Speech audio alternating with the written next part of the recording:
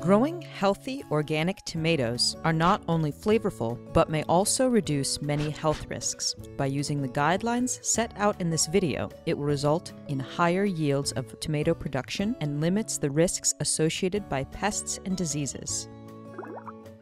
There are multiple steps in the tomato cultivation process, the first being climate, followed by land preparation, planting, irrigation, pruning, and harvesting. Climate requirements. Tomatoes, being day neutral, require high light intensity. The most appropriate temperature for germination is between 20 and 27 degrees Celsius. The condition of the plant will be poor when average temperatures exceed 27 degrees or fall below 20 degrees. Land preparation.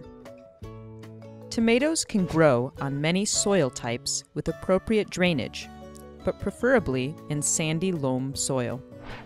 The optimum soil pH level is between 6 and 7. Always avoid land that has been previously planted with tomatoes and other crops, such as pepper and eggplant. This type of land may cause certain diseases and pests to build up.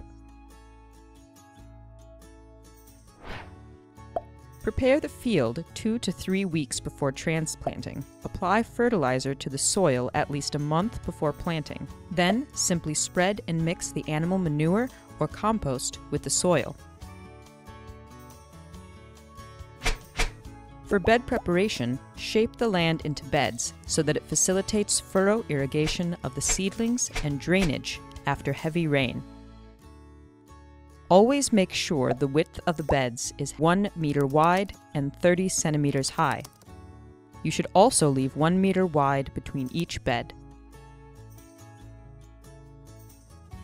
When applying fertilizers, it's required to apply it multiple times throughout the growing season. Since they are heavy feeding plants, to achieve optimum yield, tomatoes need specific nutrients such as nitrogen, phosphorus, potassium, magnesium, calcium, and potash. Sowing and transplanting.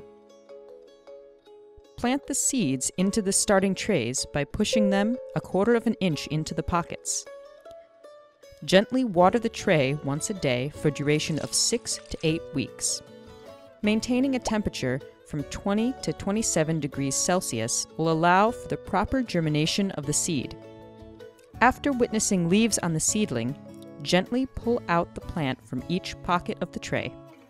When transplanting is completed, gently place the seedling deep into the ground. Align the plants in a straight line throughout the field, leaving a distance of 50 centimeters between each plant. Mulching. Retaining the moisture of the soil and helping the plant grow upwards is very crucial once seedlings are planted. It is recommended to use organic mulch such as grass clippings, hay, leaves, and sawdust. This provides food for the millions of microorganisms in the soil, thus making the soil nutritious for the plant. A tomato plant grows fast, big, and wild. If left untended, it sprawls out into an unwieldy heap. Staking. As the plant grows, Staking is required. Staking of tomatoes is the process of driving a stake or rod into the ground close to the stems. This technique provides support for the plants to grow upwards and not crawl on the ground. It will also avoid soil-borne pathogens. Crop watering, irrigation. To set higher yields and great fruit quality, tomatoes must be irrigated. Newly transplanted tomatoes require daily watering for one to two weeks. After the two week duration, irrigation should be continued once every 10 days until the crop is harvested. Pruning. When growing the tomato plant, always expect the suckers.